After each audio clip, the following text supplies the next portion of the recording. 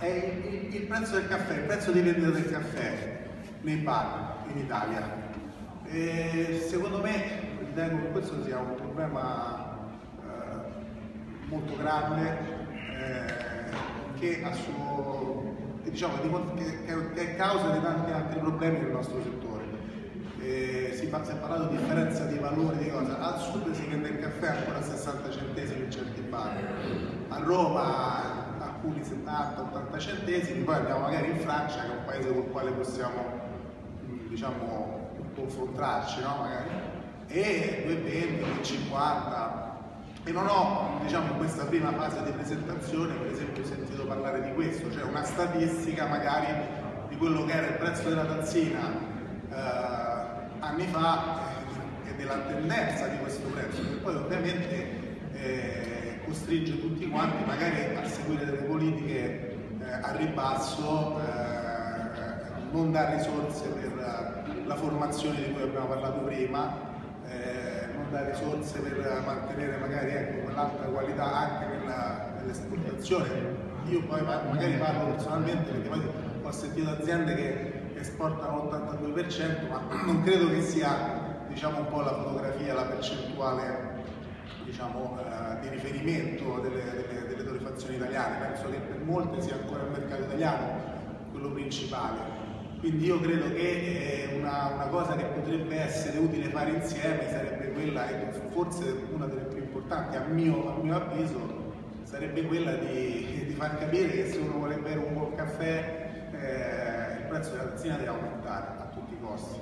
sono stati fatti servizi in televisione, sui macchinari, sulle cose, il famoso servizio di report che penso tutti avrà colpito un po' tutti quanti, nel bene e nel male,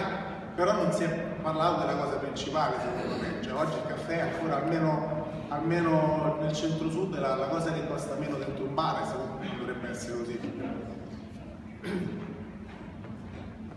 Ah, dunque, innanzitutto direi che eh, noi dovremmo trattare questi temi, questi sono temi piuttosto sensibili, per l'antitrust sia assolutamente fuori luogo discutere di, di, di prezzi, di quote, di queste, di queste, cose. Credo che sullo spunto di magari fare un ragionamento su delle statistiche, quello che può essere il prezzo medio in giro per il mondo, cioè qualche ricerca di questo,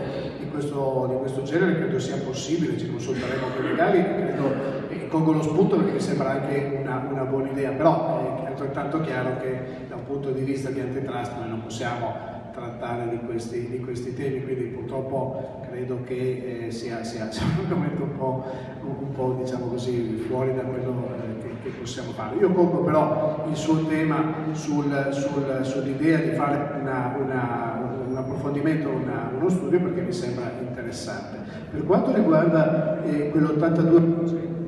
l'82% si riferiva a questa azienda che ci ospita, che fa, che fa macchine. Credo che per quanto riguarda i torrefattori è assolutamente corretta la sua interpretazione perché di fatto, almeno in, in, in volume, è il 30 erotti per cento, no? più o meno, perché tanto la materia prima quella è. Poi è chiaro che ci sarà qualcuno che esporterà molto di più del, del milione, o meno, ecco.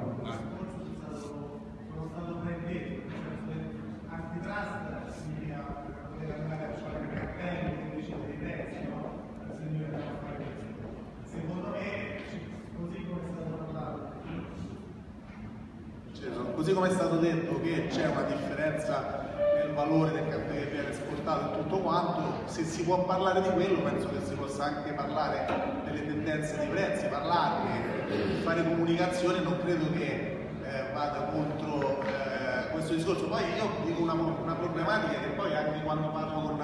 con colleghi torrefattori, ne ho parlato anche con colleghi torrefattori stamattina in una fase diciamo ancora